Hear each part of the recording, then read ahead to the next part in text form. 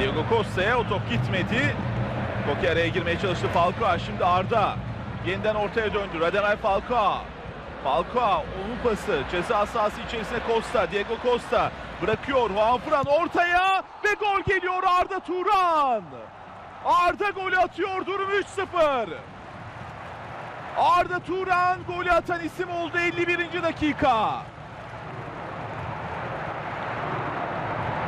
Farkı 3'e çıkaran golü atıyor Arda Turan. Gollerine devam ediyor La Liga'da. İşte Arda'nın golü.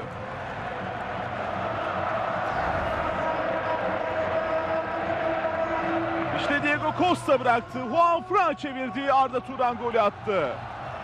Neredeyse birbirine benzeyen 3 gol, 3 aynı gol. Ve işte Arda.